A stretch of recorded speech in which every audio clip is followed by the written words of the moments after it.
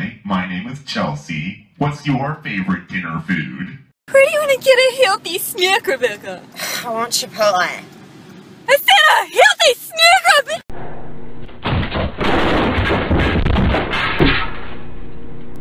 Hey, Ron. Hey, Billy. I should have left you on that street corner where you were standing. But you didn't! Hey, how much money do you have? Oh, Like 69 cents. Uh, you know what that means. I don't have enough money for chicken nugget. I wake up every morning and wish that I could play basketball with my friends, but then I remember that I am a horse.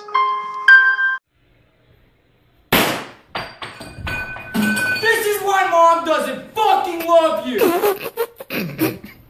Stop saying I look like Chicken Little. He's dumb and he's a coward, and I'm not a coward. Are there good cops? Let me show you something. He's right in here. Let's let him sleep. I'm nuts about these nuts, but I'm also nuts about my close good friends. My close good friends. Put Gerard back. Duke, do you want the ball?